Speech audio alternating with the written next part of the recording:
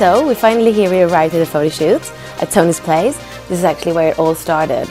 Six years ago, this was the first place that I saw in London. As you're going to notice, there's a lot of things going on in this house, and uh, the team is really happy, and everyone's really happy. I'm looking forward to a really, really creative and interesting day.